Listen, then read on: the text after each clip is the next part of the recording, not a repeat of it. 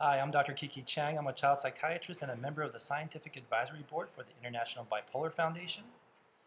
I'm going to be answering questions today from the perspective of a researcher who studies pediatric bipolar disorder as well as treats children and adolescents with early onset bipolar disorder.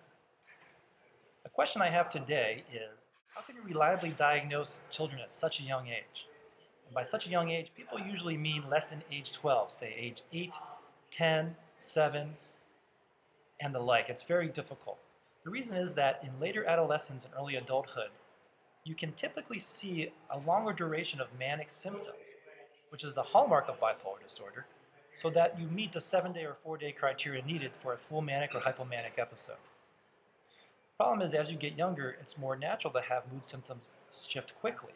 And so, if you have a six year old or a seven year old, naturally they will have uh, shifting mood symptoms.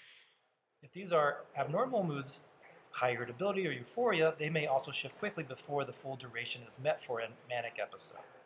So it becomes difficult to diagnose, but you have to look overall at the change in mood over a longer period of time.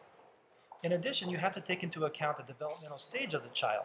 If it's normal for them to be grandiose at that age, that should not count as a symptom during the mood state. But if it's not normal at that age, then it should be counted. So with these two things in mind, you can diagnose still based on clinical symptoms bipolar disorder in children, but it is difficult the younger and younger you get. Now remember, there are no biological markers yet to definitively diagnose bipolar disorder in kids, and so you still have to rely on clinical presentation and impairment of functioning.